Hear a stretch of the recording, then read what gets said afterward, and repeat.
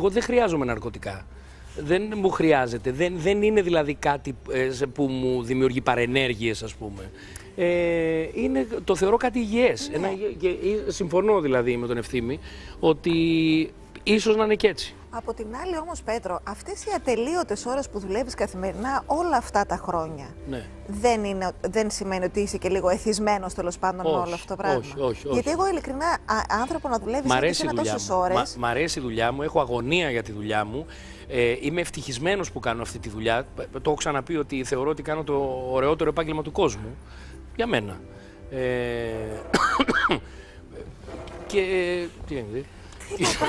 Τρίζουν τα τραπέζια. Τρομακτικό.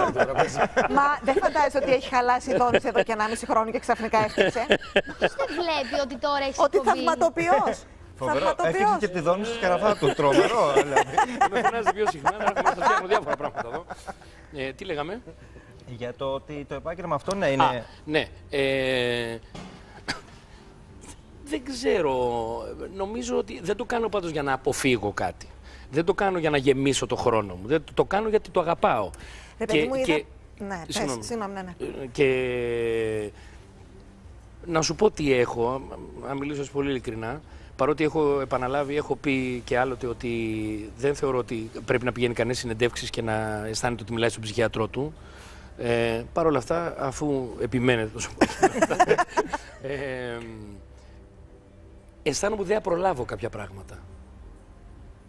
Και πιθανό να είναι και αυτό, ότι θέλω... Ε, ε, ρε παιδί μου, πώς να σου το πω, και δεν είναι αχορταγία. Δεν ε, ξέρω αν είναι δόκιμος ο όρος, εν πάση περιπτώσει, γιατί μιλάω και καλά Τον ελληνικά. κάναμε. Ναι, αχορταγία λοιπόν, να σημειώσετε το κύριε Μπαμπινιώτη. ε, αλλά, παράδειγμα, μόλις, ε, μόλις ανεβαίνει ένα έργο, μόλις γίνεται η πρεμιέρα, εγώ θέλω να κάνω το επόμενο. Ε, Θέλω να ολοκληρώσω, συγγνώμη, γιατί το, την ξεκίνησα αυτή την ερώτηση; Γιατί ακούσαμε στο βίντεο που έκανε η Άντζελα το γιο του Δημήτρη να λέει Μπαμπά, θα ήθελα να σε έχουμε όμως πιο πολύ κοντά μας. Ε, καλά λέει. Τι να πει το Και καλά Ήταν είπε το μικρός παιδί. τότε, δεν ήξερε.